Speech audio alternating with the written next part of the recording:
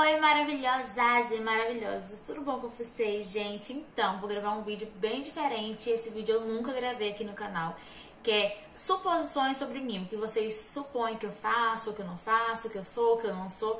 Hoje eu vou estar gravando pra vocês, tá bom? Eu deixei é, lá na caixinha do Instagram é, para vocês sugerirem algumas posições sobre mim, enfim, para me estar gravando um vídeo, e vocês deixaram, e eu separei algumas é, passei aqui pro telefone do Jean para estar tá respondendo aqui nesse vídeo, tá bom? Então se você tá assistindo aí e não é inscrito nesse canal, se inscreva, deixa like e bora pro vídeo. A primeira exposição, gente, eu não vou saber o nome de quem foi, aliás, o nome de ninguém, porque eu tirei print, ó, eu tirei print da minha câmera, por isso que eu vou conseguir falar o nome de quem deixou essa exposição pra mim, tá bom? Então a primeira exposição é: suponho que você é uma mulher inteligente e organizada. Meu Deus do céu. Gente, eu tô mais pra organizada do que pra inteligente. Tá bom? Então na parte de organização, ok, acertou. A outra exposição é: suponho que você é brava. Não, gente, não sou brava, a não ser que me estresse muito, né? Mas eu não sou brava, não, sou um amor de pessoa. A próxima é: suponho que seja baixinha, gente boa e uma ótima mãezinha. Sucesso, Florzinha. Obrigada! Que linda! Então, eu sou baixinha assim, gente. Eu tenho 1,58m. É... Sou sim, gente boa. Me considero ser uma pessoa muito boa, muito legal. e também eu faço o máximo para ser uma boa mãe pro meu filho. Então, tudo certo. Acertou. Vamos para a próxima agora. A outra é, suponho que você não se estressa com facilidade. Não, eu me estresso bastante, sou bem estressada. E principalmente quando eu quero uma coisa, que eu marco aquilo ali na minha cabeça, tipo assim, sabe? Eu marco o meu dia pro dia de amanhã. Eu sei que isso é errado, né? Mas tipo assim, eu já planejo meu dia de amanhã, se eu for sair, um exemplo, se eu for sair amanhã, eu planejo tudo hoje como eu quero que seja. Se alguma coisa acontecer como não foi planejado na minha cabeça, gente, olha, eu fico daquele jeito, fico uma pimenta, em termos de explodir. Então, eu sou estressada assim, gente, tá? Então, você não acertou não, eu sou bem estressada. A outra suposição é, suponho que você seja uma super mãe, uma pessoa humilde, caprichosa com o seu lar. Beijos, Debbie. Obrigada, então. Como eu já falei agora, gente, eu tô fazendo o máximo para ser uma mãe boa pro meu filho.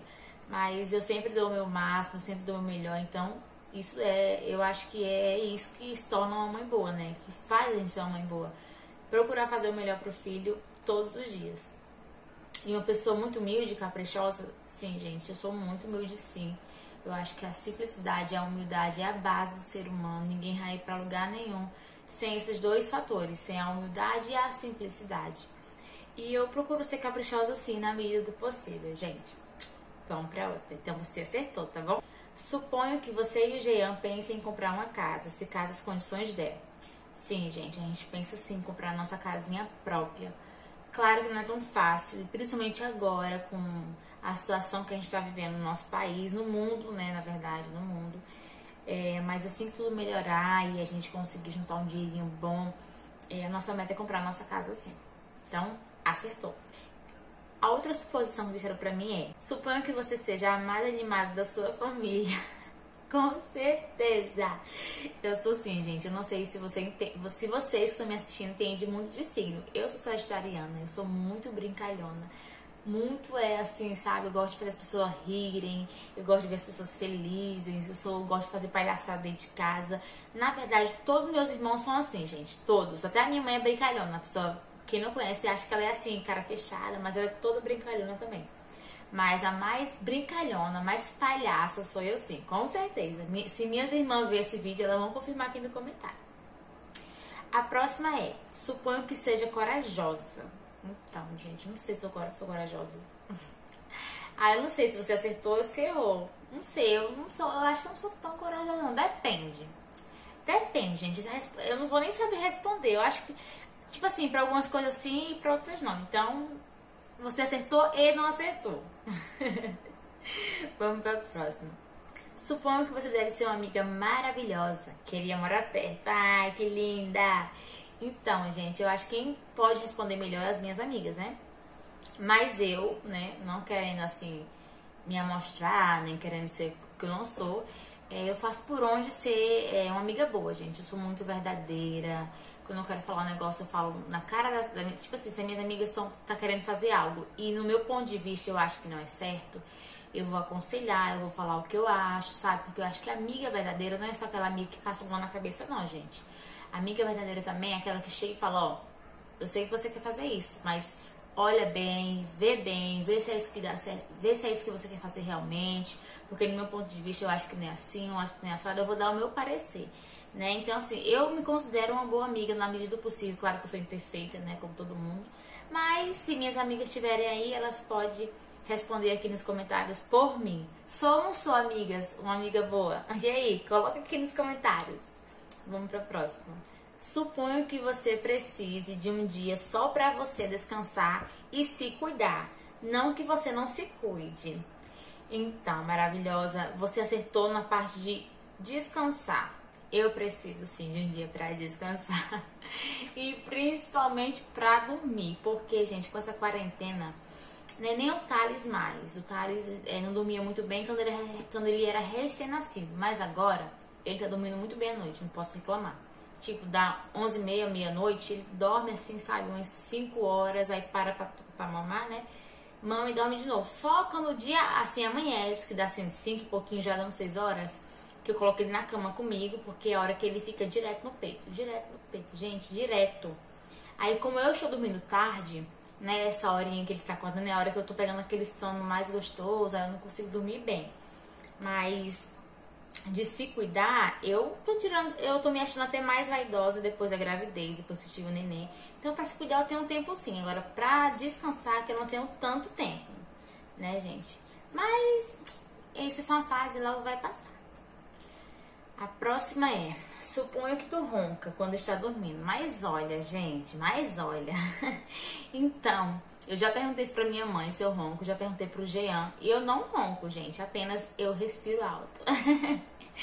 então, eu durmo com a boca aberta, gente, assim, pouco aberta. Então, eu respiro alto, sabe? Não é roncar, é respirar alto. Enfim, então eu não ronco, não. a próxima é: suponho que você já foi evangélica. Então, gente, é, já fui evangélica da igreja Assembleia de Deus, já fui bem firme, bem firme mesmo. Agora eu frequento a igreja, não tô indo fisicamente devido à pandemia, né?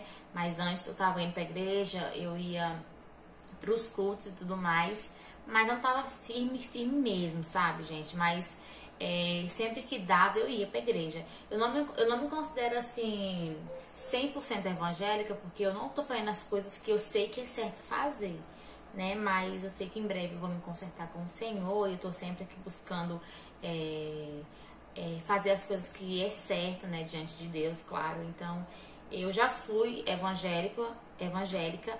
No momento eu tô um pouco assim, não, não digo desviada, desviada acho que não.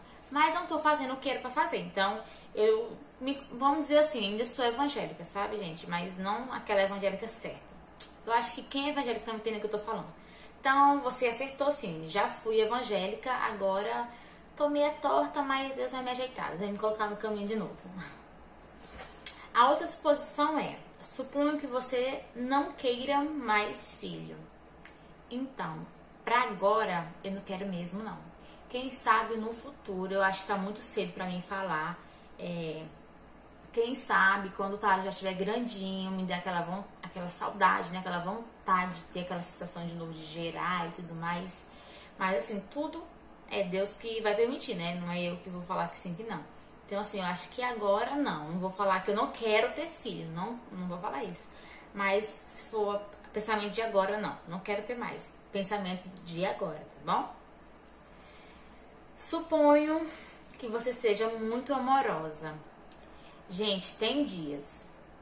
Amorosa para quem? Assim, para as pessoas de fora ou pra Jean? Brincadeira, gente. Eu me considero uma pessoa é, amorosa, sim. Eu considero uma pessoa. Eu gosto de fazer amizade, eu gosto de. É, não tem muita coisa a ver, não, mas sim, gente, acertou. Eu, eu me considero, sim, é, uma pessoa amorosa. Então a sua posição tá certa. Porque de grossa e amorosa, eu tô mais pro lado de amorosa. Então acertou. Suponho o próximo. Suponho que você é estressada. Acertou. e a próxima e última é: suponho que você quer ter mais filhos. É diferente da última, né? A, essa agora anterior é que você não queira ter e essa que você quer ter mais filho. Então, como eu respondi agora há pouco, é, para agora não. Se eu tiver com o pensamento agora vendo essa, essa loucura de vírus, ai Jesus, eu não quero ter mais. Mas quem sabe lá na frente, né? Se tudo melhorar, Deus querendo, né? Talvez sim ou talvez não. Então é uma agora é uma resposta que para mim é incerta, sabe, gente? Então eu não posso responder nem que sim nem que não. Deus vai saber de todas as coisas, né? Então é isso, gente. Foram essas posições que vocês deixaram para mim. Tinha outras coisas lá, perguntinhas que não fazia parte de exposição, mas era tipo, era, era frases carinhosas e dicas de vídeo e tudo mais. As posições também tinham outras, é, como é que se fala, repetidas. Então separei só 16 para não ficar tão grande o vídeo, tá? Eu espero que vocês tenham gostado. Eu sei que vocês ficaram sabendo mais um pouquinho de mim, me conhecendo um pouquinho mais né? É, coloca aqui embaixo no comentário qual é o tipo de vídeo que você quer que eu grave, que você tem vontade de ver aqui no canal que ainda não viu, que eu vou dar uma olhadinha qual e o, o que se encaixar melhor aqui no canal, eu vou separar e vou gravar assim, tá bom? Então é isso, gente. Espero muito que vocês tenham gostado. Um beijo no coração de todo mundo. Fique com Deus. Até o próximo vídeo, gente. Tchau!